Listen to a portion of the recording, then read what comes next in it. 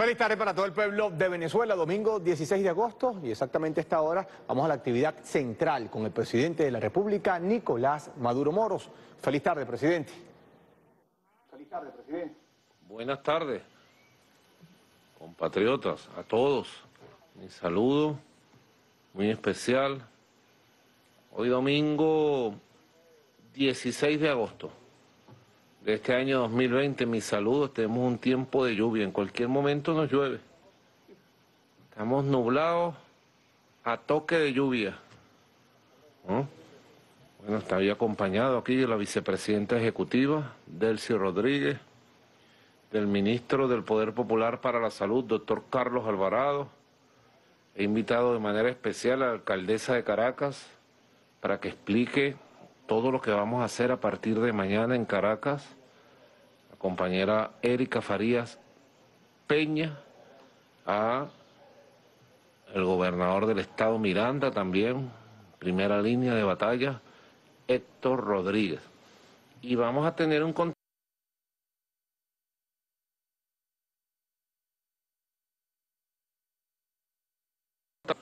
con el gobernador del Zulia. Precisamente mañana empiezan los siete días de cuarentena, con su permiso. Hoy está culminando precisamente los siete días necesarios de la flexibilización en dos niveles, parcial vigilada y la flexibilización general, amplia. El método venezolano, esto se está haciendo solo en Venezuela. Lo descubrimos aquí y lo estamos de manera creativa y adaptativa, para decirlo de alguna manera, el 7 más 7. Los siete días de flexibilización en sus distintas modalidades, cuando se puede. Y los siete días de cuarentena. ¿Mm? No es fácil. Esto es una batalla complicada que cambió la vida de todos nos cambió la vida a todos en el planeta Tierra. No estamos hablando de Venezuela, no, el planeta Tierra. Como todos sabemos. Estamos terminando una flexibilización necesarísima, dije yo. Había que flexibilizar. Zonas como el Zulia, Caracas, Miranda, La Guaira, Sucre, Bolívar, Táchira. ¿Por qué? Ya teníamos varios periodos de flexibilización suspendidos, producto bueno del crecimiento de los casos. En Caracas, por ejemplo, no, sube y sube y sube. Me dice la canción, sube la temperatura, suben los casos de contagio. Hoy tenemos el pico máximo de contagios en Caracas hoy. Ya vamos a dar los datos, por eso está la vicepresidenta aquí, listas con sus datos para informar a toda Venezuela. Pero necesitábamos flexibilizar. Mucha gente estaba pendiente de hacer gestiones, cosas. Bueno, actividad económica, vital, para que la gente mueva su economía, el comercio, las actividades. Ha sido necesario esa flexibilización. Creo que ha salido bien. He visto que la gente se está cuidando.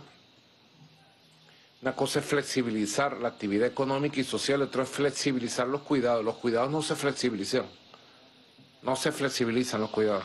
Tapaboca, los lentes también para cubrirse, guardar la distancia social, cuidarse, cero rumba, cero sobreconfianza.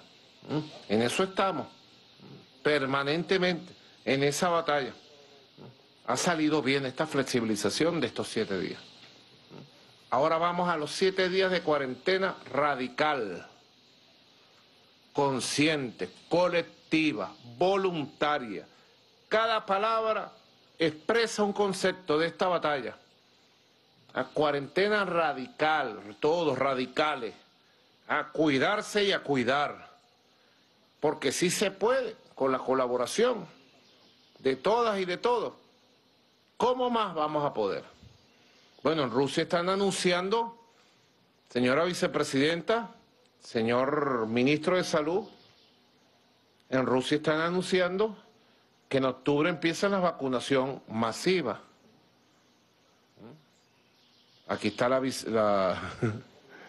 la, primera combatiente, Silvia Flores de Maduro también. Estábamos viendo las noticias ahora.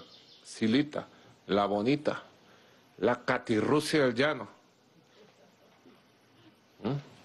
En Rusia empieza la vacunación Naguará en octubre. En octubre no, vale, el mes que viene fue lo que vimos. Septiembre. septiembre. En septiembre, en Rusia. Rusia tiene décadas, desde la época de la Unión Soviética. Rusia tuvo participación en la creación y la vacunación masiva por primera vez en la historia de la humanidad de la vacuna contra la poliomielitis. ¿Tú sabías eso? Tú no lo sabías. ¿Tú lo sabías? Contra la poliomielitis. En el año 1961, el primer país del mundo que vacunó a toda su población. Y los institutos de investigación científica, los médicos, los virólogos, bacteriólogos y todos los profesionales vinculados a este tema de estas enfermedades, bueno, con una tradición de décadas, desde 1920, 21, 25, 30, 31. He estado leyendo mucho, muchos documentos que me están llegando y que yo busco aquí a través de internet, leyendo mucho, aquí me la paso aquí pegado, leyendo, leyendo, leyendo, leyendo, leyendo, leyendo. Uno tiene que estar bien informado, bien informado tiene. Y hay que estudiar, y yo todo lo que me cae se lo envío a través de acá, del teléfono de WhatsApp, se lo envío a todo el equipo del Consejo Presidencial contra el COVID. Ustedes lo leen, lo que yo les envío, ven los videos, lo estudian. Bueno, yo se lo envío para su estudio correspondiente, para su evaluación y además para que me regresen su opinión, sus recomendaciones, porque uno va descubriendo cosas, así como mucha gente va curucutiendo, descubre cosas y me manda documentos, me mandan videos, porque estamos en un proceso de creación de la respuesta de la humanidad frente al coronavirus y tenemos que tomar del mundo entero. Por eso celebro la vacuna rusa y celebro que Rusia sea el primer país del mundo que va a vacunar masivamente a su población. Llegará el momento que nos vacunemos todos el primero que se va a vacunar soy yo. ¡Pum! Me voy a poner la vacuna para dar el ejemplo. Y después iremos vacunando al personal sanitario, a las personas mayores, a las personas con algún padecimiento. Todo eso lo estamos trabajando. Muchas cosas las trabajamos con cautela, muchas veces en secreto, porque Estados Unidos nos persigue, el gobierno de Donald Trump, Elliot Abrams nos persigue hasta en eso nos persiguen, las medicinas. Vamos a comprar la medicina tal contra el coronavirus, persiguen, llaman a la empresa y le dicen no le vendan la vacuna a Venezuela. Pero nosotros, ram, ping, pum, pac, traemos la medicina. ¿Ah? Aquí están las medicinas, mira. O traemos los insumos para producirlas. En el caso de las medicinas de alto nivel que no se producen en Venezuela, las traemos y las tenemos y se las garantizamos a nuestro pueblo, gratuitamente, así como los PCR. Ustedes saben, cuando nosotros hablamos algo es porque estamos comprometidos y nuestra palabra vale para hacer las cosas. No andamos como bobitos diciendo cosas, bobolonguitos, que traje tal cosa, que traje un avión, que no, no, no, no, no, no. Nosotros es aquí pues, aquí, porque tengo los pelos en la mano que dice, ¿verdad? Aquí. Y así estamos. Con el tema de la vacuna estamos trabajando muy seriamente en nuestros institutos científicos, el Ministerio de Poder Popular para la Salud, articulado con los rusos, con los chinos, con la India. Y bueno, buscando caminos. Argentina y México han anunciado oficialmente que van a producir la vacuna producida en Oxford. No tengo actualización, no sé si ustedes la tienen, de cómo va la vacuna de Oxford, en qué etapa, en cuánto tiempo se produciría, dentro de un año, cuándo. Correcto, pero ¿cuándo producirían la vacuna? A final de año, correcto. También a la orden. Argentina, el presidente Alberto Fernández ha declarado, y el presidente de México, Andrés Manuel López Obrador, han declarado que ellos le van a garantizar a América Latina todas las vacunas que necesita. Bienvenido. La iniciativa de Alberto Fernández y de Andrés Manuel López Obrador y de la CELAT.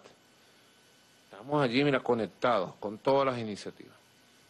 Porque de verdad, mientras no tengamos la vacuna, de verdad ya, y estemos vacunando a la población, tenemos nosotros que mantener el 7 más 7. Venezolano. Made en Venezuela, el 7 más 7. Y ahora entonces mañana, 17 de agosto, Héctor Rodríguez, ¿estás preparado? Erika Faría, 17 de agosto, ¿estás preparada? ¿Estás preparado, Omar Prieto? Tenemos a Omar Prieto, pues, aquí con nosotros desde el Zulia, Omar Prieto, para que ustedes vean, compañero Omar Prieto, bueno, por estar en la calle se pegó el coronavirus. Dio una batalla dura. En manos de Dios estuvimos al lado ahí con él, con su familia. Y apenas, bueno, los médicos dijeron, PCR negativo, ¿estás curado? Hizo sus cuidados necesarios y se ha ido incorporando progresivamente a la batalla. Omar Prieto, ¿cómo está el Zulia? ¿Qué me podéis contar? Adelante, compañero. presidente. Bueno, recibiendo, presidente, esta semana que acaba de pasar de flexibilización supervisada, con mucho entusiasmo, mucha alegría, porque los zulianos y las zulianas eh, hicimos el procedimiento adecuado.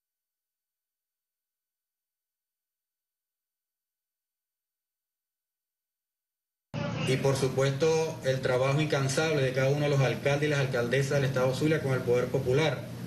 Y necesario, presidente, la flexibilización de esta semana que acaba de concluir, la semana 22, porque bueno, el Estado Zulia tenía esas 21 semanas sin ninguna flexibilización. Hemos, esta semana que acaba de pasar, nos reunimos con muchos sectores productivos, empezando por el sector productivo de la agroindustria, el sector del camarón, el sector del cangrejo, el sector de comercio también, presidente, el sector de los supermercados. Y bueno, muy contento de poder entrar en este proceso, pero yo también les explicaba a ellos y a todo el Estado Zulia que no estábamos en una normalidad absoluta, que deberíamos mantenernos con el sumo cuidado, el distanciamiento, el uso del tapabocas, el control muy muy importante que estamos teniendo en la zona metropolitana, que ha sido la zona más impactada, Maracaibo, San Francisco, con el transporte público. En este caso nosotros con la alcaldía de Maracaibo y también con eh, Metro de Maracaibo establecimos, gracias al aporte, presidente, que usted envió 60 unidades nuevas a Yutón, se lo agradece el Estado, e implementamos un buen sistema de transporte para garantizar que en el transporte público del Estado no se nos convirtiera en un foco de contagio. El Estado Zulia, presidente, entrará esta semana, como así usted lo está anunciando, en la cuarentena estricta. Eh, el Estado está en calma, gracias a Dios, trabajando todos los días nuestros sectores, nuestros equipos de salud activados. Hemos tenido logros importantes, presidente, en el ámbito de la lucha contra el coronavirus. Hemos logrado, eh, gracias al apoyo que desde el Ministerio Poder Popular para la Salud se ha enviado, hemos logrado nada más y nada menos que hacer 250 mil pruebas rápidas aproximadamente. Tenemos 40 equipos de pesquisa que andan en la calle todos los días, a los cuales les envío nuestro saludo, nuestro agradecimiento y nuestras bendiciones. Informar, presidente, que tenemos 599 casos activos en este momento. En las imágenes que estamos observando es el Hospital Universitario donde usted hizo una inversión importante y se estableció una nueva UCI, esa que estamos viendo en este momento, con la posibilidad de atender a nuestro pueblo zuliano. En el Estado hemos tenido acumulados 4.623 casos, presidente, pero con una buena noticia, 3.957 casos que están sanos. Y están sanos gracias a la atención de la Revolución Bolivariana, están sanos gracias a la incorporación de nuestros médicos, de nuestros enfermeros, de nuestras enfermeras, de todo el equipo que trabaja con protección civil, de nuestras policías en esta alianza cívico-militar policial. Y esto nos llena de, mucha fuerza, de mucha fuerza y de mucho entusiasmo, pero de mucha cautela, y diciéndole al Zulia que el coronavirus es verdadero, que no es mentira la, la enfermedad y que cuando tengan algún síntoma que pareciera en el Zulia, al zuliano, una gripe cualquiera, no, no es una gripe cualquiera, pudiese ser el coronavirus. Por eso la decisión oportuna del paciente que tenga algún síntoma, la gripe, el dolor de garganta, es acercarse inmediatamente a la institución de salud que se ha dispuesto desde el Estado Mayor de Salud en el, Estado Zulia, en este caso dos hospitales centinelas, presidente del Hospital Universitario, que quiero felicitar a todo el equipo de médicos en su nombre y en nombre de todos los zulianos, igualmente el Hospital de Santa Bárbara. Y los CDI que están haciendo algunas, eh, los alcaldes y las alcaldesas están haciendo algunas, eh, algunos acondicionamientos para garantizar así que cada paciente pueda tener de manera gratuita, como así se ha hecho, llevando los protocolos, el tratamiento que se está colocando, que ha sido exitoso. quiero reconocerlo desde el punto de vista personal, presidente, mi tratamiento fue exitoso con la supervisión de nuestros médicos cubanos, nuestros médicos zulianos, y por la decisión temprana de acudir a la institución de salud, y yo puedo decir estoy totalmente sano con el favor de Dios, pero sí preveniendo, presidente, en esta nueva etapa de no que tengamos un rebrote de coronavirus. Y esa campaña la estamos llevando todos los sectores, todos los sectores, incluso las empresas, presidente, que tienen un número importante de trabajadores, están conversando directamente con las unidades de epidemiología para garantizar que allí no haya un nuevo foco de contagio como el que estuvo en el mercado de las pulgas y nosotros podamos cantar victoria, presidente, como seguramente la vamos a cantar. Tremendas recomendaciones del gobernador, de este joven líder cristiano revolucionario del Estado Zulia, Omar Prieto. El Zulia le ha puesto duro, como dice, le ha puesto duro el turno. Le ha tocado a Maracaibo, a San Francisco, a todo el corredor Guayú, todo el corredor Guajiro. Nos ha tocado duro, porque los trocheros entraron en Cambote y llegaron con fuerza los trocheros. Y bueno, el foco del mercado de las pulgas, del mercado de Mara, esos focos fueron duros, duros, duros, duros, porque fueron profundos. Y ahora el Zulia, bueno, todo el país, vamos a siete días de cuarentena radical. ¿Cuál es la idea que yo tengo? Cumplir el 7 más 7 al pelo, como dirían allá en el Zulia, al pelo. Cumplirlo. Siete días muy radicales, bien organizaditos. Y siete días después de flexibilización, también, como hicimos ahora. Aquí está el mapa de la flexibilización. Aquí está la cámara, esta está la cámara. Aquí está, miren, de la flexibilización parcial vigilada que estamos terminando hoy. Caracas, Miranda, Zulia, La Guaira, Sucre, Bolívar y Táchira. Uno, dos, tres, cuatro, cinco, seis, siete entidades federales. Seis estados más el Distrito Capital. Aquí está el, digamos, el frente principal de crecimiento del coronavirus, de los contagios, de los contagios. Y aquí está el resto del país, el resto del país que tuvo una flexibilización amplia. Tuvo bien la flexibilización, ¿verdad, señora vicepresidenta? Correcto. Ahora vamos a esta cuarentena radical. Es muy importante lo que acaba de decir Omar Prieto. Atenderse a tiempo. Yo ratifico mi mensaje del viernes. Por el amor de Dios, compatriota por el amor de Dios, por el derecho a la vida de usted, de su familia, si usted tiene una tosecita, si usted se siente raro o rara, no se quede en su casa, vaya inmediatamente al ambulatorio, al CDI, al hospital, a la clínica, por favor, por el amor de Dios, en todo el país. Llámenos para irlo a buscar a tiempo. Podemos hacer todo, pero tarde casi no se puede hacer nada. Ustedes me entienden, ¿verdad? A tiempo. Aquí están los tratamientos, miren, para quien no me vio el viernes. Tratamiento 1 para los asintomáticos. Los asintomáticos tienen su tratamiento, Erika, Héctor, doctor Alvarado. Tratamiento 2 para los sintomáticos leves. Tratamiento 3 para los sintomáticos leves con riesgo por la edad o por enfermedades base. Aquí está el tratamiento para los sintomáticos moderados, con dos modalidades, con riesgo o sin riesgo. Y aquí está el tratamiento base para los graves. Tratamientos para todo, pero además se hace el estudio porque cada cuerpo, como dicen, cada mente es un mundo, cada cuerpo es un mundo.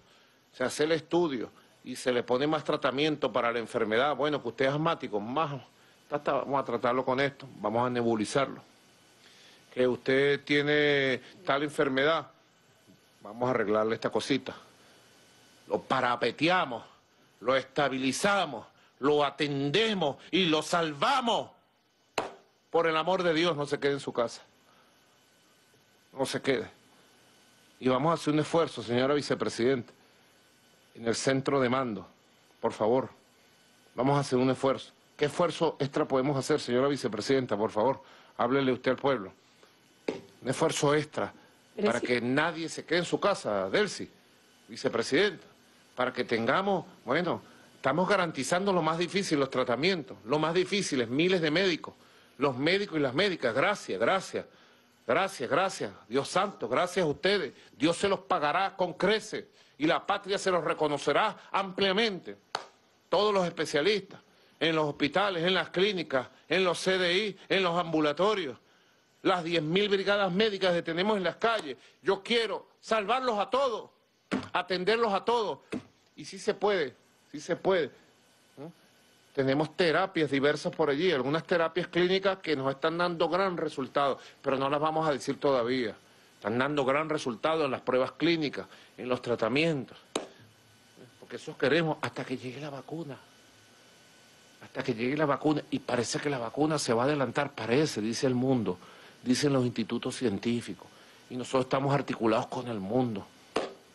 Ah, Delcy, ¿cómo vamos a hacer para atender a todo el que necesite? Delcy Rodríguez Gómez. Gracias, presidente. Bueno, muy importante es el nivel de articulación que hemos logrado con todos los gobernadores, con los alcaldes, para, primero que nada, garantizar nuevas capacidades para atender a las personas con síntomas, pero también hemos garantizado los espacios adecuados para atender a las personas asintomáticas.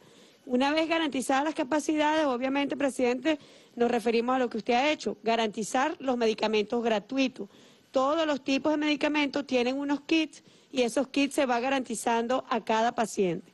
Pero lo importante es que la población con síntomas que realmente ameritan los moderados, los graves, están siendo atendidos por médicos, por médicas venezolanos, cubanos.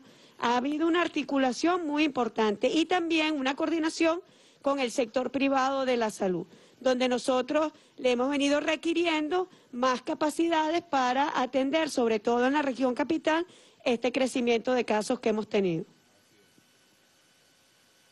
Estaba recordando un caso de unas personas cercanas a nosotros, a Silvia, que un matrimonio, el esposo pasó 22 días el coronavirus. ¿Mm?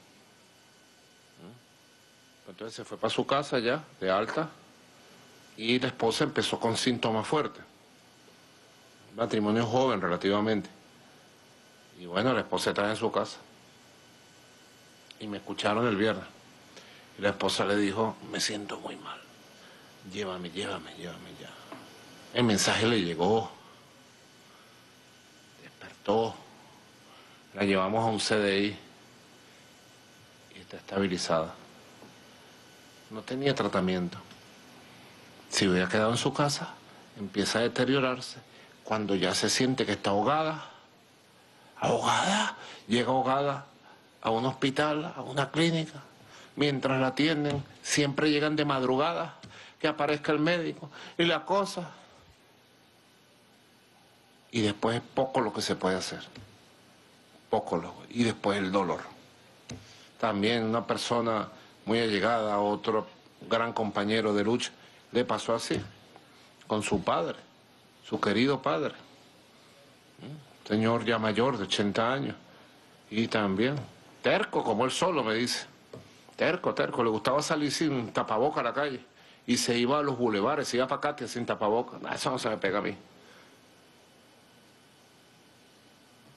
Y después se empezó a sentir mal, tos, cosas, sentir, sentir, estaba una gripe. Hasta que una madrugada, de hace unos 10 días, 10 de la noche ya no podía respirar, y a correr se ha dicho. Llegó, lo parapeteamos, pero ya estaba muy avanzado el coronavirus. hay gente que no cree, hay gente que se asusta porque no quiere la palabra esa bendita del aislamiento. Ah, bueno, es más bien un resguardo. Vamos a llamar el resguardo. Porque debemos acompañar. Si es verdad que usted va a estar o en un CDI, bueno, el CDI está más acompañadito, hay más bulla, más cercanía, ¿verdad? En los hospitales quizás un poquito también. Ya para los hospitales van los moderados y los graves. En los CDI están los leves y algunos que otros moderados. ¿Mm? En los hoteles hospitalarios que hemos instalado en todo el país, en el poliedro y en sitios así, están los asintomáticos y algunos sintomáticos leves. En todos lados tratamos nosotros de tener, estar cerca, de estar cerca. Claro, esa palabra aislamiento la inventaron ustedes, los médicos, porque es un concepto. Está enfermo, está infectado de tal virus, hay que aislarlo. Entonces la palabra aislamiento. Y a la gente le cuesta mucho la soledad. La soledad. Bueno, para salvar la vida, si hay que pasar 15 días en un cuarto leyendo, viendo televisión y aguantando allí pensando en la vida, vale la pena la vida. Lo digo yo. Y digo más, vamos a acompañar a todos los que nosotros tengamos en resguardo, con musiquita, que tengan su televisor, que tengan internet, que tengan libros, con aquel tiempo maravilloso. Usted duerme, se acuesta a las 11 de la noche, se levanta a las 7 de la mañana y después se pone a leer, leer, leer, se hace los tratamientos, etcétera, etcétera darle la, darle la vuelta a la cosa, ¿ves? Nadie le tenga miedo, ¿vale? Tenle miedo a morirte, es mi cosa. ¿eh? Tenle miedo. Aunque dicen que la otra vida es mejor. Bueno, esperemos que llegue, pero mientras tanto hagamos que esta sea la mejor de todas las vidas. En la lucha, en la sonrisa, en la esperanza, en el amor, en el compartir. Y nuestra responsabilidad, mi responsabilidad como presidente, es atenderte, es salvarte, es parar, romper las cadenas de contagio. Y pido tu ayuda, compatriota, solo no puedo. Yo solo no puedo. Yo pido tu ayuda. Nosotros solos no podemos. Pido tu ayuda, tu ayuda, para hacerte las pruebas, para presentarte a tiempo para los tratamientos y para tener fortaleza psicológica. Si hay que pasar, bueno, 15 días, tres semanas en un cuarto. Te vamos a dar la mejor atención, el mejor amor. En Venezuela es el único país donde todos los que están con contagio deben estar bajo la protección de la salud pública del Estado. Todos. Ah, seguramente se quedará uno que otro que se quede en su casa. Pero nosotros buscamos que sea el 100%. Vamos por el 98% aproximadamente. Fíjense ustedes, yo quiero que ustedes vean estos testimonios de gente que se ha salvado, que luchó. Su vida cambió ya, su visión del mundo. Hoy aman más la vida y a Dios y a su familia. Vamos a ver este primer testimonio de Gerardo Goyo. No me pusieron el estado aquí. Gerardo Goyo. De Caracas. Goyo, Goyito de Caracas. Adelante.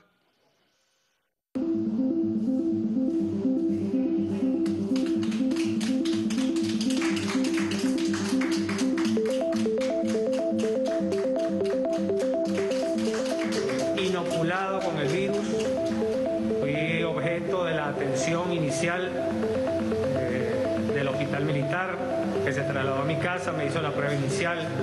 Posteriormente entré al sistema de salud, al sistema Centinela, y de allí empezó todo un esquema de atención, todo un esquema de atención agresivo, insisto, de aplicación inmediata de la medicación. Yo quiero con particularidad resaltar y exaltar el trabajo del gobernador del estado, Marco Torres, del personal médico que me atendió de manera metódica, atenta, sistemática. Recibí toda la medicación necesaria para poder recuperarme. Llegué en una situación de compromiso de vida serio y hoy estoy restablecido. Y eso no ha sido producto solamente de lo fortuito, sino también de lo que describo para ustedes. El esfuerzo del médico, la atención constante, la supervisión. Y hoy estoy aquí, recuperado, de regreso a la vida y muy agradecido y con una muestra de gratitud infinita hacia el personal médico que me atendió. Yo agradezco con mucha particularidad al ciudadano presidente de la República, Nicolás Maduro, por ese esfuerzo que está materializado aquí en lo que también que es venir de una situación postrera de vida a la vida.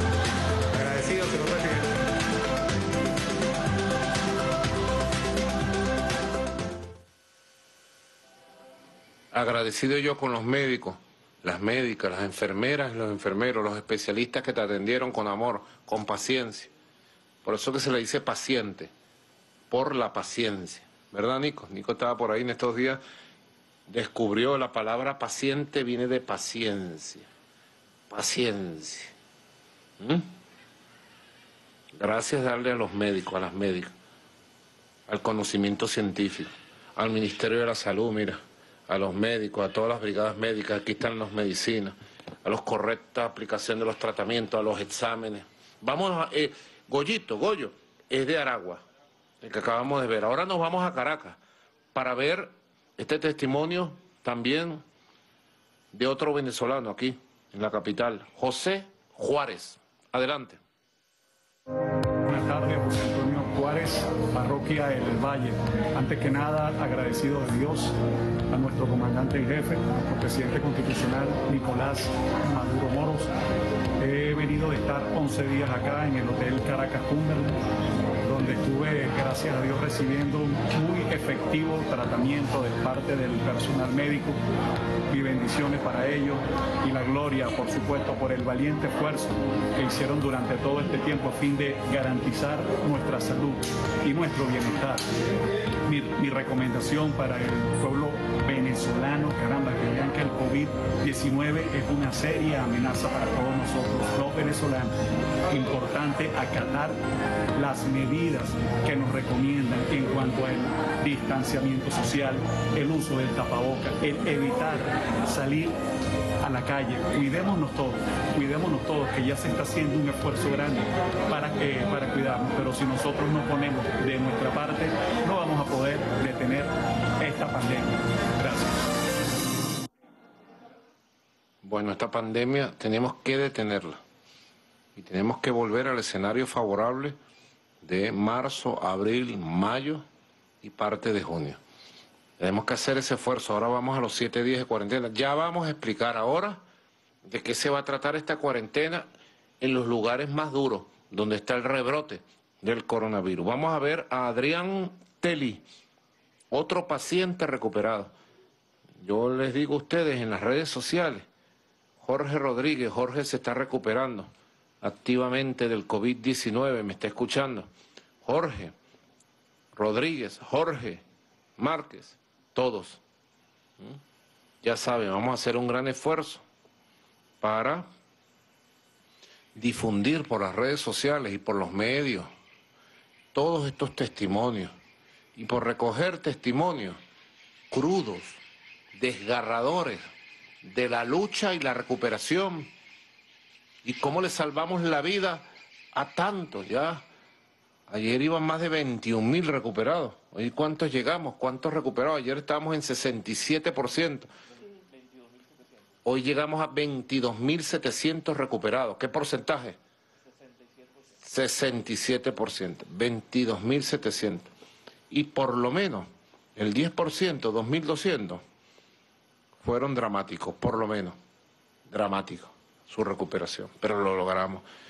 Y uno siente la fuerza de que vale la pena el trabajo, la perseverancia, el amor, vale la pena la vida. Vamos a ver a Adrián Telly en Caracas, adelante. Buenas tardes, mi nombre es Adrián Telly, pertenezco a la parroquia del Valle.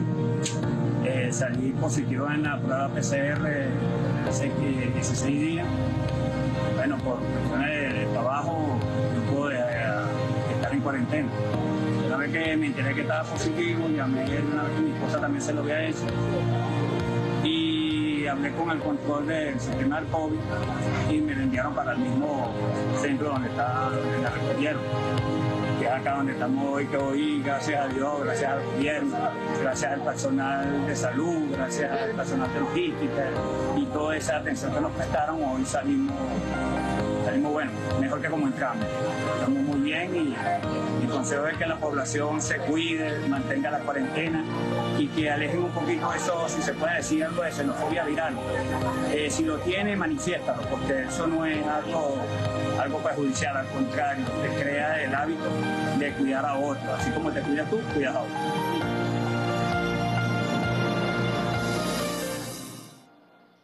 Bueno, vamos a recoger, Marque, haz ese esfuerzo.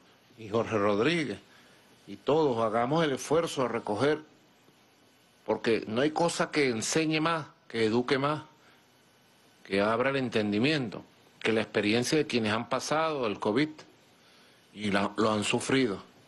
Y con estos tratamientos gratuitos, un tratamiento de esto en Colombia, ¿cuánto costaría, señora vicepresidenta? No menos de 500 dólares. El tratamiento completo. Y un tratamiento para un moderado, un grave, como es este caso, pasaría los 20 mil dólares, 30 mil dólares. En Estados Unidos todos salen de las clínicas porque todo es privatizado. Y bueno, la población que se está quedando sin empleo, que no tiene apoyo, que no tiene ingresos, ahora el que salva la vida sale con deudas de 30, 40, 50 mil dólares. ¿Ah? Esa es la verdad del capitalismo versus el socialismo cristiano, humanista, bolivariano y chavista que nosotros llevamos adelante con mucho esfuerzo, con una guerra económica brutal, una persecución imperialista, pero no nos ponemos a lloriquear. No estamos lloriqueando, lo que estamos es batallando permanentemente, batallando, batallando. Vamos a ver este último testimonio. Yo insisto, busquen testimonios todos los días. Y todos los días quiero publicar testimonios.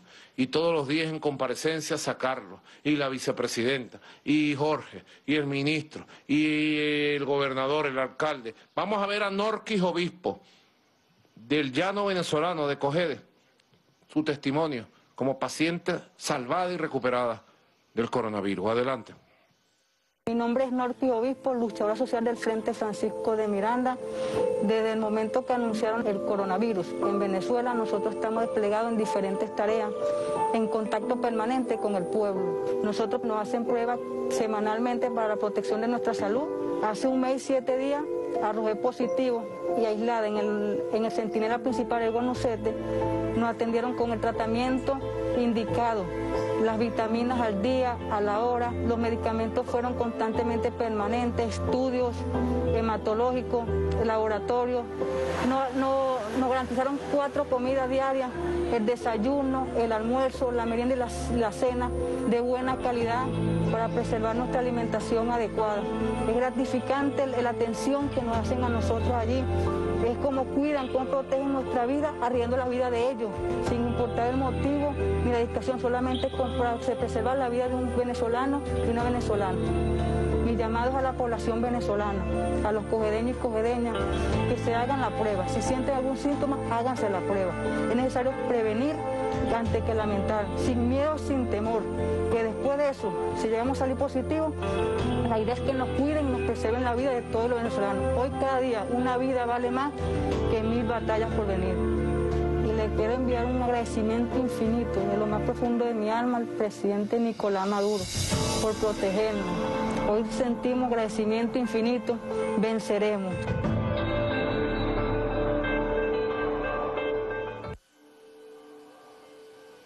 Dios te bendiga, muchacha. Bueno, ahí está. Testimonio sencillo y sentido de quienes se recuperan. Y yo les insisto, agradezcan a los médicos y médicas que no duermen. Miles y miles, venezolanos, venezolanas, a todo el personal sanitario, a la Brigada Médica Cubana. Agradezcan por todo su amor, desprendimiento, por todo su profesionalismo, cumpliendo aquel juramento de Hipócrates, el juramento de entregar su vida para dar vida, de llevar su conocimiento, doctor Alvarado, científico para dar vida. Nosotros estamos, mira, desplegados. Por ahí pasé hace unas semanas por un establecimiento abandonado estaba abandonado. Allí funcionó una empresa privada que daba servicios de salud, ¿verdad? De emergencia de salud. Y ahora estamos instalando en todos los pisos, en los ocho pisos, la tomamos legalmente, tiene todas las condiciones porque tiene las instalaciones para hacer un centro de salud y la estamos recuperando integralmente para poner 50 camas de cuidados intensivos de primer nivel del mundo, para tener todo eso preparado. ¿Para quién es eso? ¿Para mí? ¿Para un grupo privado? No, para el pueblo de Venezuela. Para atender la salud, para salvar vidas. Bueno, y para salvar vidas, hoy, antes de que llegue la vacuna, hay una sola cura, infalible, la prevención. Bueno, yo quiero hacer una conversación. Quiero que me entiendan. Omar Prieto, allá en el Zulia, gobernador del Zulia, tremendo líder. Esta muchacha que está aquí, Erika Faría, alcaldesa de Caracas. Este muchacho que está aquí, que revolcó a Capriles Radosque en Miranda. Valga el comentario, Capriles, te revolcó, Héctor Rodríguez te revolcó así. ¿Cómo que se llaman las peleas estas? ¿Cómo que se llaman las UFC? UFC, marque. O o U. UFC. UFC, ¿ustedes han visto eso? Que se lanzan de todo. Bueno, a los cinco segundos de la pelea para gobernador, Héctor Rodríguez, pa, pa, pa, pa, cayó Capriles, no cao Capriles. Estos muchachos que están aquí, yo siempre les pido, bueno, Héctor viene saliendo del coronavirus, estuvo tres semanas, le dio asintomático, pero apenas te dicen, te asusta y su familia también lo tuvo. Bendiciones para tu familia, Héctor. Yo quiero conversadito aquí. Vamos a la cuarentena radical, pero necesitamos que sea muy radical en el Zulia, en Caracas, en La Guaira, García Carneiro. Sé que te estás recuperando muy bien, que Dios te bendiga. En Caracas, en Miranda, que sea muy radical ahí donde está el foco del rebrote y necesito mucha colaboración y así lo pido a toda la población del Zulia, del Táchira, de Bolívar, de Sucre, de Caracas, Miranda y La Guaira, y de todo el país, pero en especial de eso. Vamos a darle la palabra a Omar. Atención, conversadito. ¿Saben qué es conversadito? Cero discurso. ¿Qué es lo que vamos a hacer? ¿Cómo radicalizar? Atención, todo el mundo oído. Aquí están las explicaciones de la fase nueva de la cuarentena radical Primero Erika, después Héctor, Omar, nos vamos quitando la palabra. Adelante, Erika. Sí, presidente, como usted bien lo ha pedido, eh, lo primero que hicimos fue coordinarnos los equipos de la SODI, el Ministerio de Salud, Partido Poder Popular, Alcaldía y Gobierno Distrito Capital, para ubicar en el territorio la concentración de casos, ¿verdad? En cada uno de, de los ejes, 119 ejes que hay en la ciudad de Caracas, 2.700 comunidades y calles de la ciudad de Caracas. Ahí notamos que eh, los principales ejes donde se concentra eh, la mayor cantidad de contagio, el eje Valle Coche, el eje Macarao, Caricuao, Altagracia y Catedral. Son los, los, ejes donde mayor cantidad de casos se concentran y en esos ejes hemos, hemos desenlazado ocho actividades. La actividad de salud que tiene que ver con el despistaje activo y focalizado a través de las áreas de salud integral comunitaria y de las brigadas de prevención popular que la que están desplegados. En este caso, para hablar puntualmente del ejemplo de, de Valle Coche, estamos hablando de cerca de 600 personas entre médicos, enfermeros y poder popular. Luego eh, trabajamos el tema de seguridad con la SODI, lo que es los puntos de control en los principales eh, accesos a este eje, para nosotros lograr disminuir lo más que podamos la movilidad dentro del eje y poder desarrollar el pesquisaje activo y focalizado y evitar pues eh, la movilidad en la comunidad. Ahí, entre otras actividades, reubicamos paradas que tienen mayor concentración de personas. Allí también eh, controlamos todo el tema del comercio de las áreas autorizadas como alimentación, salud en general. Y luego también articulamos una, una, quinta acción, tiene que ver con la sensibilización, la educación con relación al COVID. Ahí instalamos a aulas de sensibilización donde los formadores y formadoras del sistema de formación de nuestro partido, de nuestro poder popular, se despliegan a explicarle al pueblo el COVID, cómo se previene, cómo se contagia, cómo se cura, esto que usted ha hecho de los tratamientos en cada una de las sintomatologías que el virus tiene, y bueno, también aquellas personas que insisten, como usted lo ha dicho, presidente, cerca del 16% de la población dice que esto no es verdad. Entonces hay personas que salen sin tapaboca.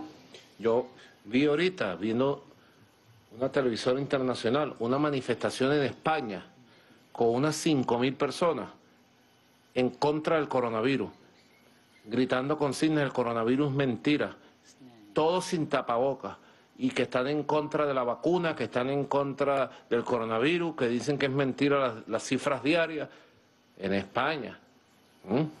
Pero eso pasa en todos los países, que hay gente que no cree y listo. ¿Y cómo se hace, pues? ¿Ah? Con educación. En este caso, estas aulas también asisten estas personas que con las brigadas detectamos en las comunidades están rompiendo los protocolos de bioseguridad.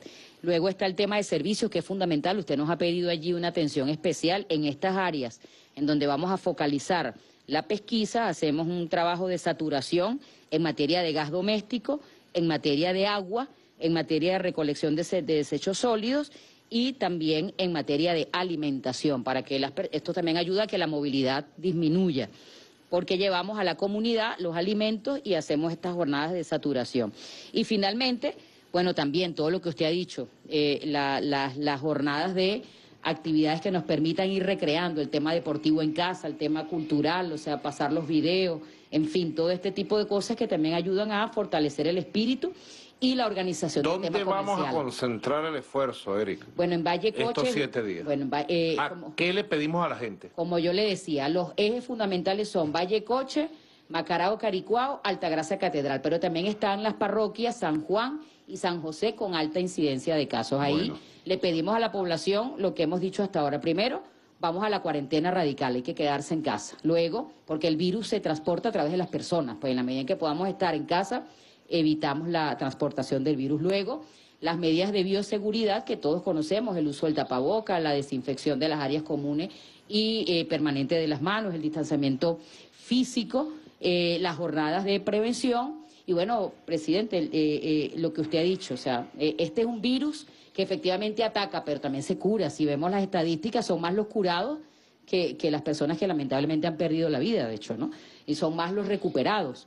Entonces, eh, también darle confianza a nuestro pueblo de que tenemos un gobierno responsable, ¿verdad? tenemos un Ministerio de Salud abocado a la protección y a la prevención de la enfermedad y al cuidado de los pacientes. Y bueno, están desplegadas todas las fuerzas en el territorio para garantizar que este plan se cumpla de manera correcta en estos territorios. Correcto. Así estamos, pues, en ese esfuerzo. Pero también yo tengo que decir ¿Dónde, dónde, se está transmitiendo? ¿Qué nos dice el estudio hoy por hoy? ¿Dónde está transmitiéndose el coronavirus? En los cumpleaños, en las reuniones familiares. Tengo que decirlo, en las rumbas. Bajó como un 70% la rumba, pero sigue viendo rumba. Todo el que va a una rumba sale contagiado, todo y llegue contagia a su familia. ¿Mm? Rumbero, parrumbero yo, como dicen. Parrumbera Silvia, parrumbera Erika. Erika, Erika no se aguanta y pesa un concierto. Aló, llámeme a Erika, digo yo. ¿Dónde está? Está en el Poliedro, en el concierto de Maluma.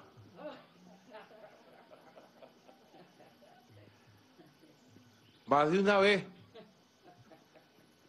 Está en la discoteca tal. Parrumbero yo, parrumbero nosotros. ¿Qué lucha? ¿Qué lucha? Y la gente no entiende. Y de cada cumpleaños, ay, que salió contagiado tal. Ay, hacerse las pruebas. Ay, me siento mal. Porque la cosa pega psicológicamente. Hay gente que le pega. No, que estuve con no sé quién y está contagiado. ¿Qué? Por eso me vengo sintiendo mal. Y la gente psicológicamente se siente mal. Allí es donde se está contagiando la gente. Y entonces va corriendo. Hay que cuidarse. Porque es verdad, no salga a la calle. Pero si usted viene y lleva el contagio a su casa, y entonces vienen mil cosas, festividades, bueno. Ay, Dios mío. Es una cosa, pues, que yo tengo que informarla, tengo que reflexionar, porque tenemos que tomar medidas, porque tenemos que controlar el coronavirus. ¿Tú ibas a decir algo, Erika? Sí, para terminar, presidente. Conversadito. Sí, para terminar. En el caso del eje El Valle Coche, hay dos grandes, eh, pudiéramos decir, focos que pudieran ser focos de contagio. Uno es el mercado eh, mayorista de coche, donde bueno, se genera una actividad comercial de las más grandes que se dan en la ciudad de Caracas, y otra es el tren, el sistema del tren que, que llega hacia el hipódromo y donde también se concentra un grupo importante de personas que vienen fundamentalmente de, de los valles del Tuy. Entonces, en esos dos lugares también vamos a desarrollar trabajos en estas ocho áreas que ya mencionaba para tratar, bueno, de cortar la cadena de transmisión y ayudar en todo el proceso de prevención y de detección. Correcto. Tenemos desde el Zulia a Omar Prieto, gobernador, líder joven, fuerte líder del Zulia.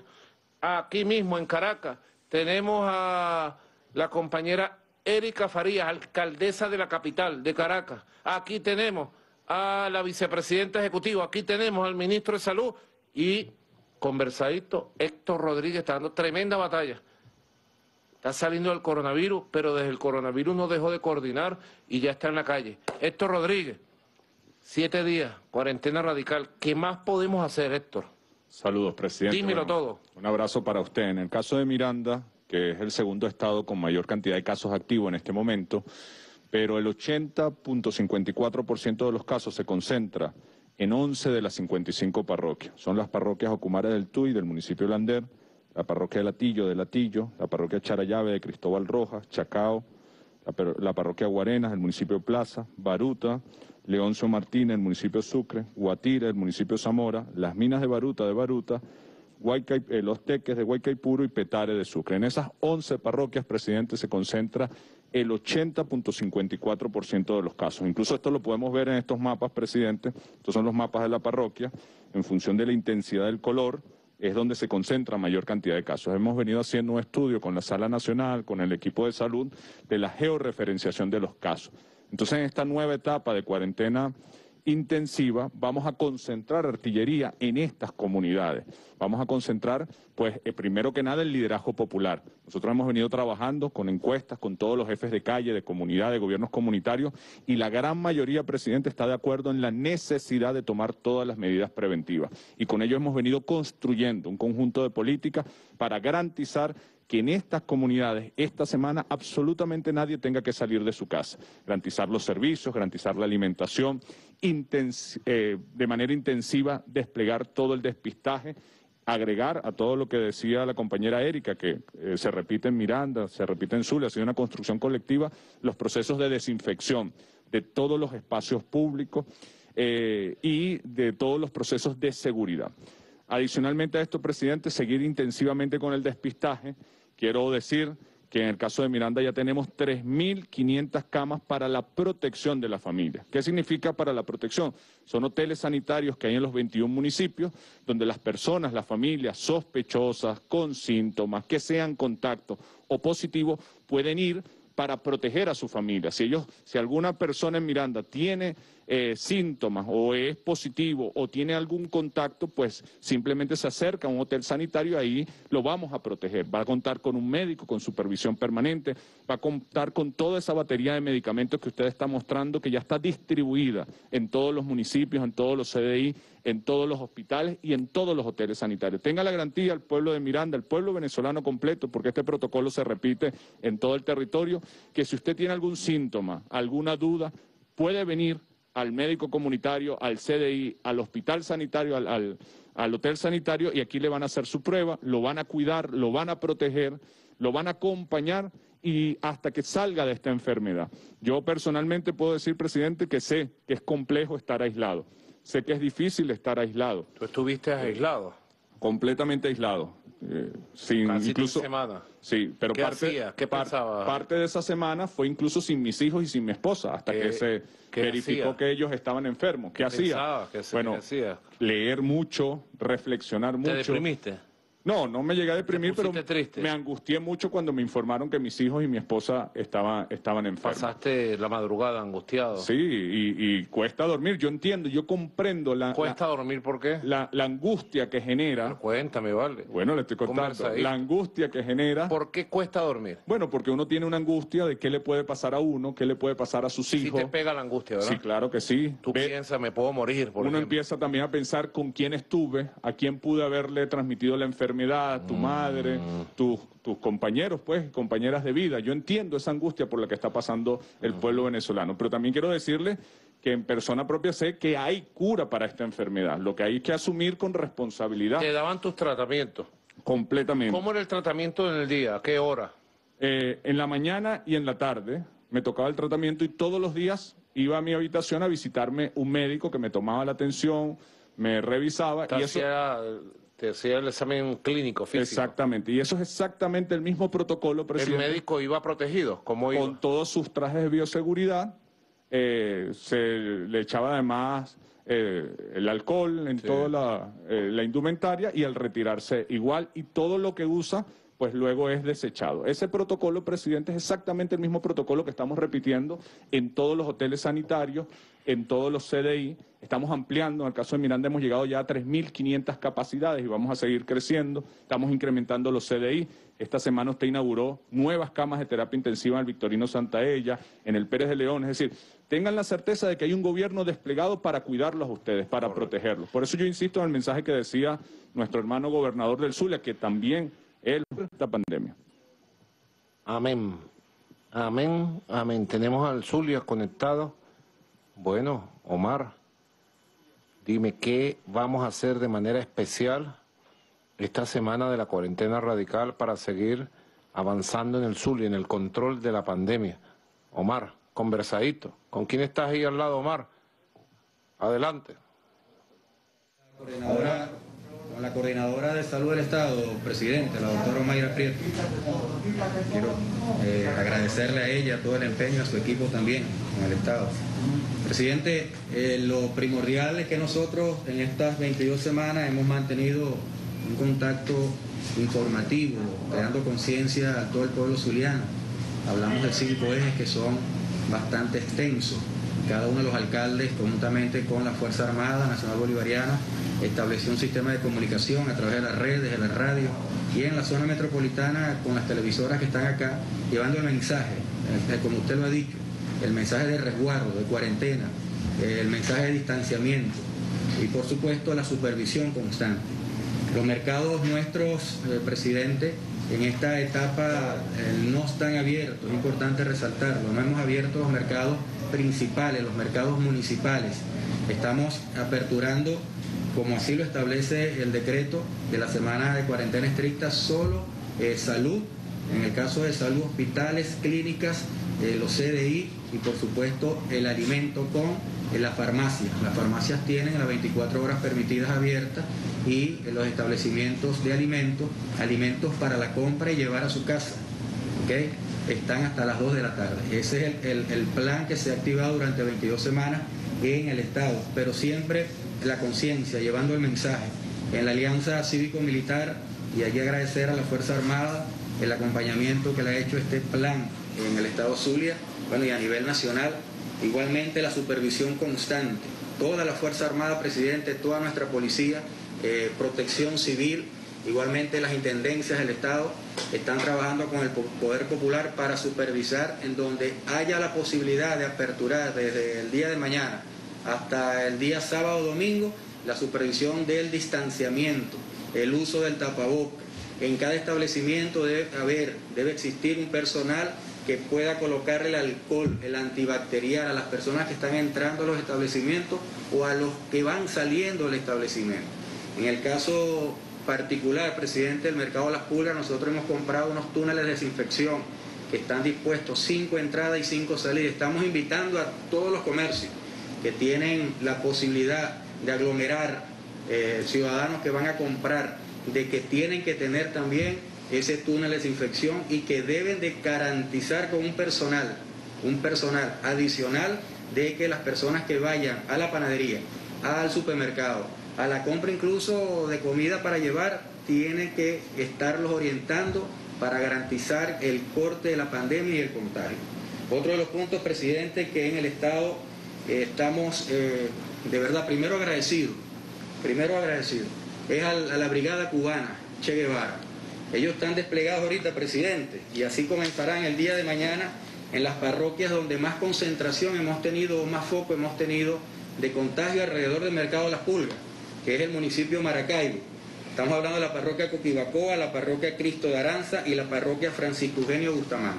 Siguiendo las recomendaciones, presidente del Estado Mayor de Salud, nosotros estamos en el plan, en esta semana de cuarentena, de evitar al máximo el desplazamiento de municipio a municipio, de manera que podamos resguardar los municipios metropolitanos, Maracaibo, San Francisco, La Cañada y Jesús Enrique Lozada.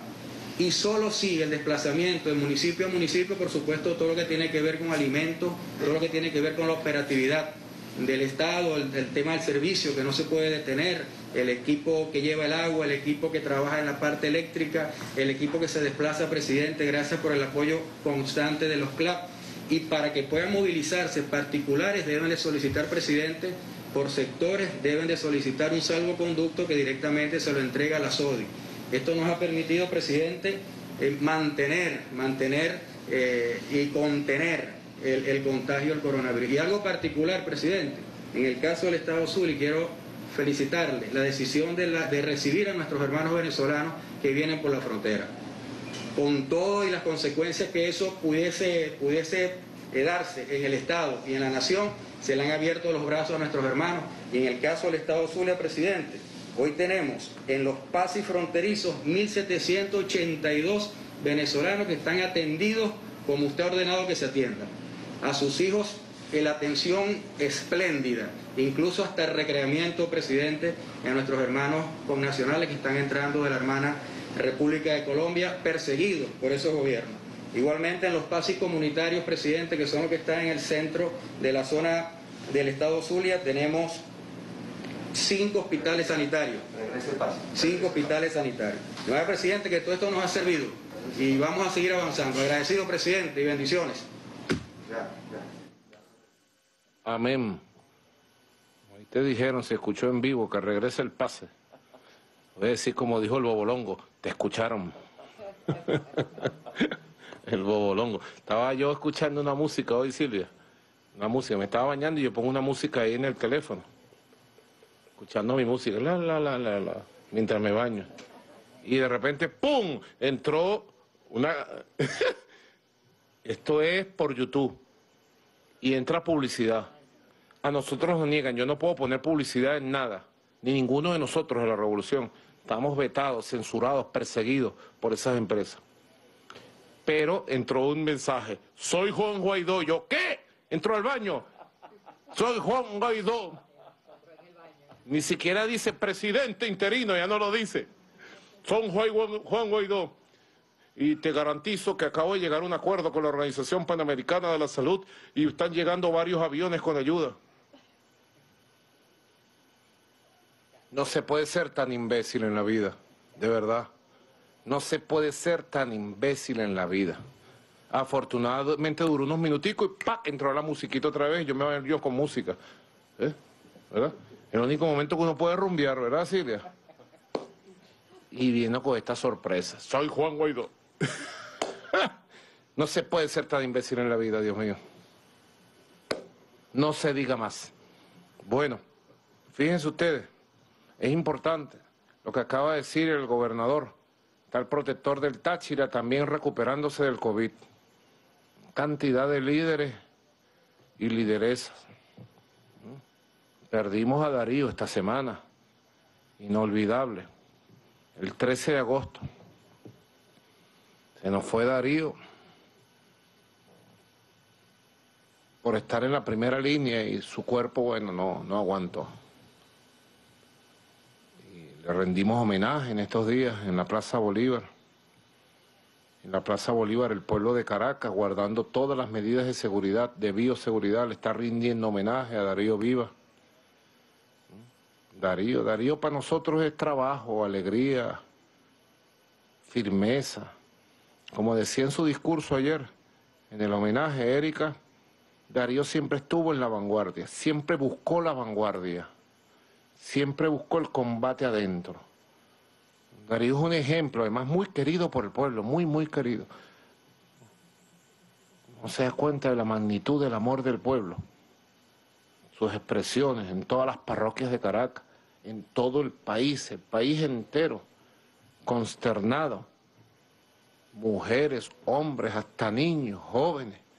Darío es un ejemplo de la lealtad práctica, de la lealtad demostrada, de la lealtad verdadera, de estar al frente en la vanguardia, de no vacilar. Nunca me dejó solo, Darío, nunca me dejó solo en estos días tan duros, desde que nuestro comandante Chávez partió, siempre estuvo en la primera línea. Darío, donde estés, Darío, gracias por no dejarme solo, gracias por tanta lealtad, Darío, gracias por tu entrega al pueblo. El cuerpo no te aguantó, pero tu alma ahora anda libre. Y yo lo siento, yo sé que Darío anda con nosotros en las calles. Y desde donde esté, con nuestro comandante Chávez, estará pendiente de nosotros, Darío, con su sonrisa, con su carcajada. Una foto muy bonita que sale al lado de Erika con su carcajada. Muy amigo, Darío, entrañable de Silvia, mi esposa. Muy, que fueron diputados y compartieron tantas batallas. Fíjense ustedes. Bueno, gobernador de Miranda, el gobernador del Zulia, el gobernador de Sucre, el gobernador de La Guaira. Han enfrentado el coronavirus y lo han superado. Darío lo perdimos en esa batalla. ¿ah? El compañero Diosdado salió adelante en esa batalla. Una batalla dura tuvo Diosdado. Ya está al frente de todas sus tareas. Diosdado, saludo, Diosdado. Tiene reflexiones profundas. Profundas desde el punto de vista humano, de la fe, de la revolución, de la patria, Diosdado. Ese es otro ejemplo, Diosdado es un ejemplo de militancia, de lealtad, de apego a los principios, de liderazgo, de fiereza frente al enemigo, la furia bolivariana. Tarek, Tarek Aizami también dio su batalla dura. Y bueno, todos tantos compañeros. Bueno, Jorge Rodríguez. Ahí los tenemos en batalla. Y tenemos que cuidarnos. Fíjense ustedes, yo quiero presentar, siempre los domingos me gusta presentar el balance de cómo están algunos países. Venezuela hoy tiene un balance en un minuto, Del, si pudieras decirlo. El balance de hoy está cuántos casos llegamos, para que hagamos una comparación. ¿Mm? Son las 5 y 39 minutos, ¿correcto? 5 y, 5 y 39 minutos de esta tarde. Vamos a hacer el balance para que veamos la comparación con el mundo. Nosotros estamos en una batalla durísima para parar este crecimiento, para que no haya más fallecidos, para salvar a los graves. Estamos dando esta batalla, pero en el mundo las noticias no son buenas. Por favor. Gracias, presidente. Bueno, en las últimas 24 horas tenemos 1.097 casos de transmisión comunitaria en todo el país. Ya usted lo había dicho que el Distrito Capital hoy ha tenido el pico más alto en todos sus días, con 399 casos. Naguará, Caracas. Oído, Caracas. Con casos registrados en las 22 parroquias del Distrito Capital y concentrados en el eje que refería la alcaldesa, en el Valle, Sucre, El Recreo, La Vega, Antímano, Caricuao, San Juan, que son los ejes donde están concentrados el mayor número de casos.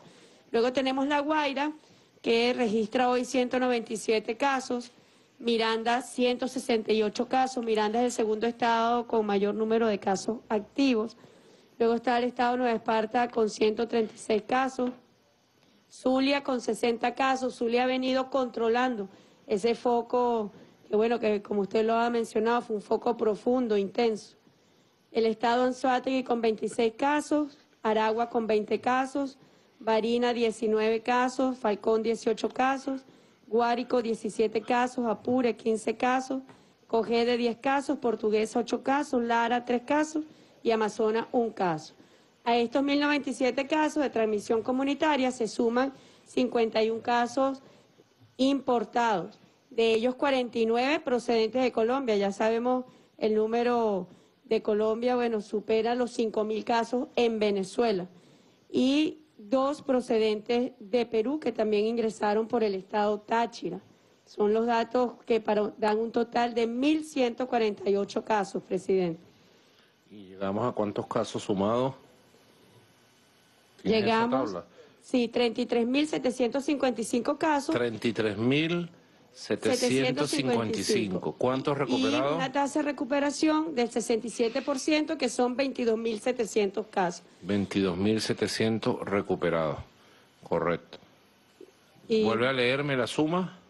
En la suma de hoy, 1.148 casos y en total 33.755 casos. 33.700 y 22.700 recuperados. Sí, eso quiere decir que hay 10.774 casos activos. Donde más casos activos hay en Caracas.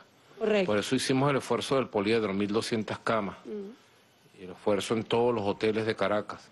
Tenemos miles de camas para atenderlos a todos. Y por eso hemos hecho el esfuerzo en el Parque Naciones Unidas, 350 camas. Y así por el estilo. Y en Miranda, en segundo lugar, también todo el esfuerzo que ha dicho este joven líder revolucionario de nuestra patria, Héctor Rodríguez Castro. En Zulia también, haciendo un gran esfuerzo. Pero vamos a ver el mundo. Siempre es importante. Quiero presentarles estos, estos videos. El primero Estados Unidos. Tétrica la situación, difícil. Yo veo mucha televisión estadounidense. Veo mucho CNN en inglés, Veo mucho Fox News, ABC, NBC. Yo VC, yo lo veo. Yo lo veo. Y otras televisoras, Univisión, eh, CNN en español. Yo busco para estar bien informado de la realidad de los Estados Unidos, toda la realidad. Y es dramático, pueblo indefenso. Huérfano, huérfano, huérfano. Vamos a ver el video. ¿Quieren verlo? Adelante.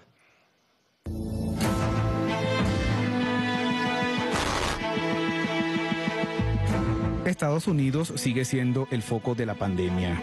El COVID-19 ha entrado en una nueva y peligrosa fase. El virus no solo ha atacado zonas urbanizadas, sino múltiples y diferentes áreas por todo el país. Luego de las decisiones tardías que tomó el presidente Donald Trump para combatir la pandemia, Estados Unidos está viviendo un repunte en el número de casos de coronavirus, registrando diariamente más de 45 mil contagios. Cuando la esperanza del gobierno está puesta en la reapertura de la economía de Estados Unidos afectada por la pandemia, el pueblo exige un nuevo cierre. I've been in intensive care nursing for about 23 years now, and I've never seen anything like this. Even the London bombings, never seen it in such a short, condensed period of time. El personal sanitario no lleva mascarillas. Tengo la mía propia. Le dije a mi jefe que comprendo que hay escasez, pero me gustaría poder protegerme por lo menos a mí. Quiero sentirme segura.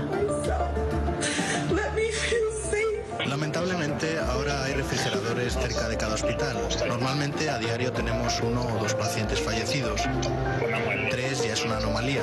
Y ahora tenemos 15, 17 y 19 muertes al día. La capacidad de la morgue es limitada. Es más humano guardar los cuerpos en refrigeradores. En algunos hospitales los cuerpos están en bolsas por los pasillos. Por desgracia corre el rumor de que los camiones refrigerados que tenemos en la calle pronto se quedarán sin espacio. Norteamérica posee en la actualidad más de 5.414.000 contagios y más de 170.380 muertos, situación que ha generado una crisis humanitaria en este país.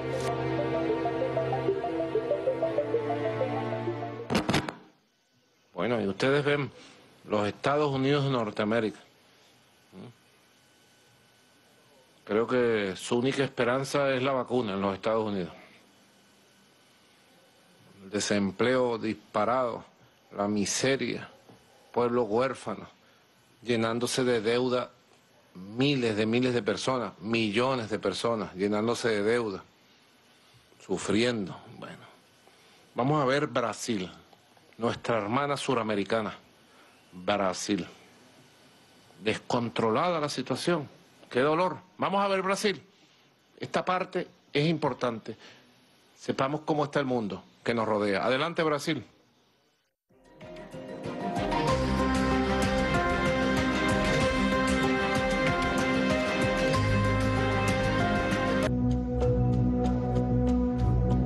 El gigante amazónico es el foco de la pandemia en Latinoamérica. Además, es el segundo país con más contagios en el mundo. Diariamente registra más de 50.000 infectados y más de 1.000 muertos. El pueblo brasileño rechaza las acciones de Jair Bolsonaro, quien criticó las reglas de aislamiento social impuestas por gobernadores y alcaldes, alentó el uso de drogas sin eficacia comprobada, promovió las aglomeraciones y vetó el uso obligatorio de máscaras en escuelas, sitios comerciales y religiosos. Esa enfermedad está matando y masacrando a nuestras poblaciones, favelas, indígenas, quilombolas. Y que él sea sensible. Y que él sea sensible al punto de no flexibilizar en un momento como este.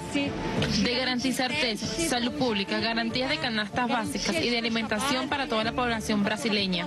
Lo que pienso es que es difícil, ya que hablamos de un gobierno que es fascista, racista y que no tiene como prioridad salvar nuestras propias vidas. Actualmente, seis estados brasileños han sido golpeados por la pandemia. Amazonas, Amapá, Minas Gerais, Mato Grosso del Sur, Santa Catarina y Tocantins.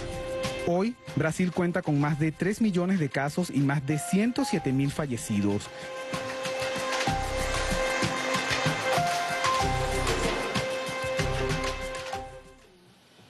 Brasil. Bueno, hubo unas lluvias fuertes que afectaron a Santa Elena de Guairén, municipio de la Gran Sabana.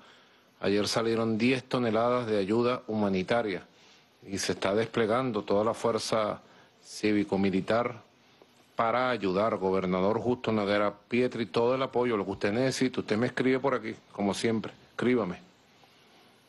Justo Noguera, mayor general de la patria, para yo apoyar a las comunidades del municipio Gran Sabana, de Santa Elena de Guairén, todo. Ahí hemos dado una gran batalla por el ingreso legal, regular, así como en el Táchira, en Apure, en el Zulia, para acabar con este tremendo problema de los trocheros que fue el que generó, bueno, el crecimiento que hemos vivido de casos de coronavirus. Vamos a controlarlo, lo vamos a controlar con el método 7 más 7. Lo vamos a lograr, tengo gran fe y le pido a Dios todos los días que me ilumine, que nos bendiga, que nos proteja. Al doctor José Gregorio Hernández, que esté con nosotros en cada paso que damos y que extienda su mano sagrada de luz sobre nuestro pueblo. Ahora vámonos a Colombia, nuestra hermana Colombia. Colombia hay un desastre ahorita, más, además del coronavirus. Una masacre en Cali de cinco jóvenes asesinados por grupos paramilitares. Ayer hubo otra masacre de nueve jóvenes muertos, masacre. ¿Y qué hace la Organización de Naciones Unidas? ¿Qué hace la alta comisionada Michelle Bachelet por Colombia? ¿Qué hacen los organismos frente a un gobierno que permite la masacre de grupos paramilitares, que convive con grupos paramilitares. En Colombia volvió el tiempo de Álvaro Uribe, de los falsos positivos, de las masacres, el asesinato, del terrorismo de Estado contra un pueblo. ¡Qué dolor de Colombia! Por Colombia levantamos nuestra voz por el derecho a la vida, a la democracia, a la libertad. Tremendo, pues, tremendo. Desde Venezuela la bolivariana decimos justicia y paz para Colombia. El mundo debe levantar su voz por Colombia y por su pueblo que está siendo masacrado. Como fue en las décadas de los 80, que mataron a más de 4.500 líderes y militantes de la Unión Patriótica. Como fue en la década de los 90, en los años 2000, cuando gobernaba Pastrana, Uribe, masacres, asesinatos, tortura, grupos irregulares. Colombia nos duele, nos duele mucho Colombia. Y desde el dolor decimos, despierta Colombia, despierta Colombia. Bueno, vamos a ver, fíjense ustedes, ya pasamos ese video, vamos al de Colombia. Adelante.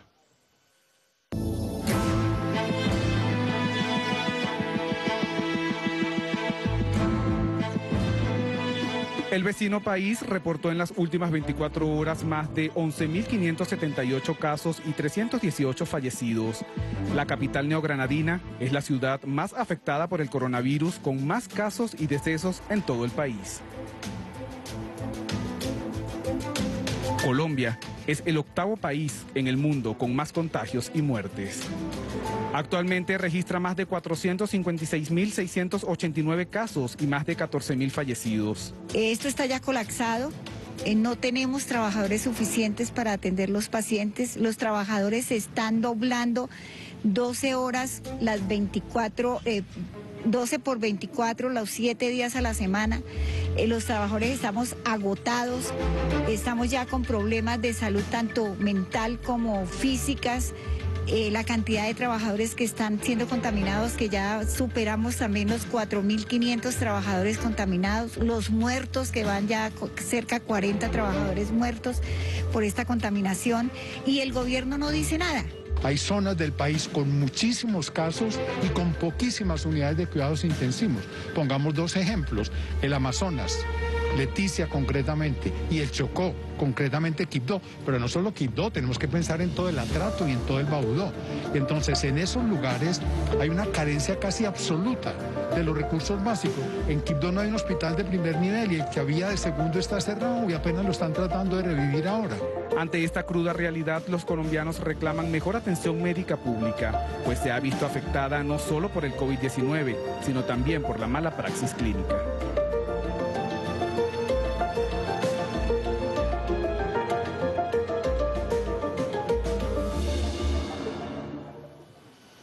Despierta Colombia, despierta, despierta Colombia, despierta.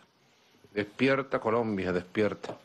Colombia, la hija de Bolívar. Colombia, la creación de la idea de Colombella de Francisco Miranda. Colombia, nuestra hermana, que nos duele tanto, nuestra hermana.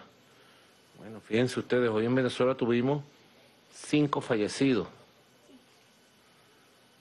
Se nos olvidó decirlo ahora en el reporte un hombre de 72 años, 72 años, estado Aragua, vigilante como actividad. Un hombre de 70 años de Aragua también, de Maracay. Una mujer de 68 años de Aragua. Atención Aragua. Atiende Alvarado, Delcy, Comisión. Cuando vienen estas señales, Aragua, tres fallecidos. Porque llegaron tarde. Si llegan más temprano, tenemos las inyecciones, la medicina para estabilizar y muchas de estas vidas salvarlas. Muchas de estas vidas salvarlas. No llegue tarde a la vida, llega a tiempo. El cuarto fallecido de hoy, un hombre del estado Táchira municipio Ayacucho, allá en Colón. Mi saludo a la gente de Colón, Coloncito de la Fría. Pensionado, que tuvo relaciones con los pasos irregulares, las trochas. Tenía relaciones con la gente que trabaja en las trochas en esa zona. 73 años. Y el quinto fallecido en el estado Sucre, Cumaná. 74 años, una mujer de la parroquia de Altagracia, oficios del hogar, residente en un lugar donde se han presentado muchos casos, tenía muchas enfermedades base y llegó tarde, llegó tarde. Dejó avanzar mucho la enfermedad. Cinco fallecidos el día de hoy. Sigamos trabajando por salvar vidas. El primer responsable de salvar su vida es usted.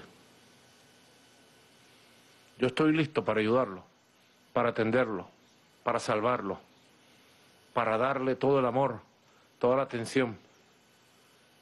Pero cuídese, cuidémonos, que esta batalla la tenemos que ganar. Vamos a los siete días de la cuarentena radical. Vamos a probar la disciplina, la conciencia, la voluntad y la fuerza espiritual de toda la familia venezolana. Vamos a probarla. Siete días intensos, intensos. Para después cumplir los siete días de flexibilización y ir con el 7 más 7 hasta que llegue la vacuna. El primero que se va a poner la vacuna en este país se llama Nicolás Maduro Moro. Estamos articulados, la vacuna rusa, la vacuna china, la vacuna de la India, la vacuna de Cuba, que Cuba anunció su vacuna, la vacuna de Oxford, Argentina, México. Pero mientras llega la vacuna, cuidémonos. Salvemos las vidas. Unamos la familia. Y frente a esta situación tan extraña que nos ha tocado vivir, saquemos las mejores lecciones. Saquemos las mejores reflexiones. Convirtamos esta situación en una oportunidad para ser mejores seres humanos, mejores familias, mejores. Un pelito así, mejor. Un pelito así cada día para ser mejor hijo, mejor madre, mejor padre, mejor abuelo, mejor hija, mejor abuela, mejor hermano, mejor hermana, mejor compañero, mejor ciudadano de la República Bolivariana de Venezuela. Domingo 16 de agosto, buena jornada de reflexión, de orientaciones, de decisiones. Les doy las gracias a todos. Vamos a mantenernos conectados en la mente, en el corazón y en la acción permanente. Que Dios bendiga a nuestra amada patria Venezuela. Hasta la victoria siempre. Venceremos. Muchas gracias. Buenas tardes.